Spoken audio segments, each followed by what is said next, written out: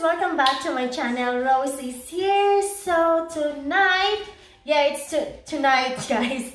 Because gabi na dito, it's already uh, 6 p.m. in the evening. 6 in the evening, guys. Um, magluluto ako, guys, ng dinner namin. Which is, meron akong lamb chops dito, guys. Yan.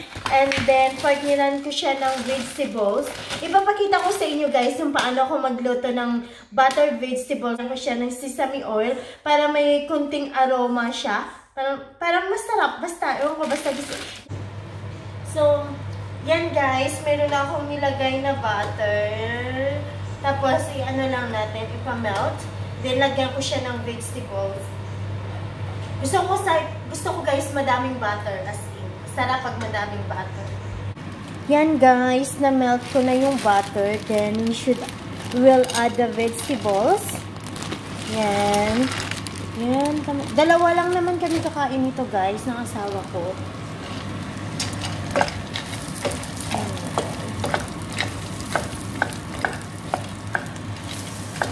I-mix lang guys. Mix-mix lang. Yan na guys, nalagyan ko na yan ng ano, ng salt and pepper. I-mix-mix lang natin. Kayo na yan guys, magtansya ng panglasa nyo, panlasa nyo.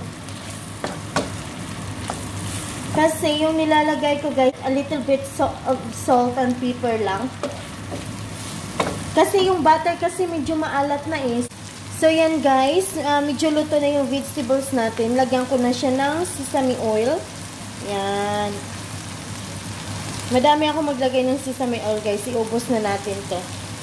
Kasi masarap pag mabango talaga. Yung aroma kasi guys ng sesame oil, ang sarap. Yan. Hmm, bango. Yan guys. Luto na siya. Uh, ito na guys yung sesame, uh, battered vegetable ko guys na may sesame oil. Luto na siya. So yung next ko na lulutuin guys is yung lamb chops chops, uh, lamb chops natin guys. Yan. Hindi na ako naglalagay ng kung ano-ano dyan guys. Uh, diretso na dyan sa. As you can see guys, may dalawa akong frying pan dito sa likod. Kasi hindi siya kakasya sa isang pan. Usually, niluluto ko yan guys doon sa ano namin, sa tawag dito, sa barbecue, sa labas. Kaso lang, yan nga, umuulan. So, hindi tayo pwedeng lumabas para magluto doon. So, dito na lang natin lutuin sa frying pan. Yan guys, may olive oil na yan. Nilagyan ko na siya ng olive oil.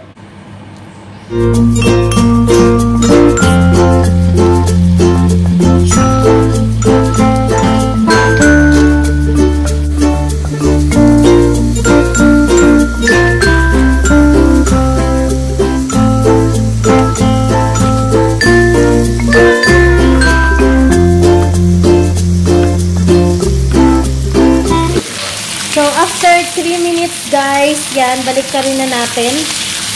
Yan. Hindi pa yan luto guys. Babalik ka rin ko pa yan mamaya. Ooh.